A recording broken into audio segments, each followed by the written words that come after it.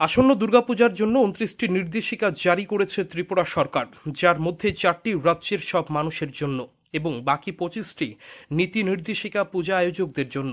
তার আগে রাজধানীর ক্লাবগুলি নিয়ে বৈঠক করেছিলেন মুখ্যমন্ত্রী রবীন্দ্র ভবনে। সেখানে ক্লাবগুলির মতামত নেওয়া হয়। সেখানে বলা হয়েছিল, রাজ্য সরকার আসন্ন শারদোৎসবের জন্য নির্দেশিকা জারি করবে। শুক্রবার জারি হয়েছে সেই নির্দেশিকা।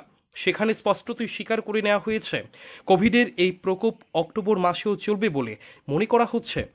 সেই পরিস্থিতিতে করোনা যাতে না ছড়ায়, তার জন্য সরকার বেশ কিছু নির্দেশ দিচ্ছে, যা মেনে চলতে হবে পূজা উদ্যোক্তাদের।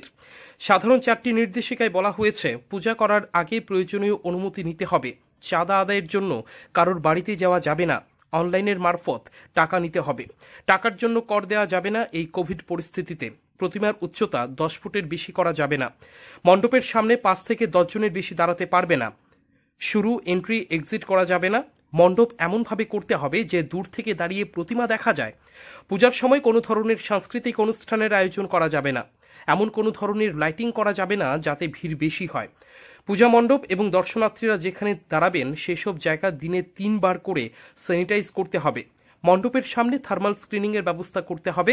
মণ্ডপের সামনে প্রয়োজনে বড় টিভি বা এলইডি স্ক্রিনিংয়ের ব্যবস্থা করতে হবে, যাতে দূর থেকে মানুষ প্রতিমা দেখতে পান। পূজা উপলক্ষে একসঙ্গে ভোগের ব্যবস্থা প্রাইস ডিস্ট্রিবিউশন বন্ধ রাখতে হবে। আর সবশেষে, পূজার সময় জারি থাকবে রাতের কারফিউ মূর্তি বিসর্জনে তিরিশ জনের বেশি যাওয়া চলবে না। রিপোর্ট, চ্যানেল তিন রাত।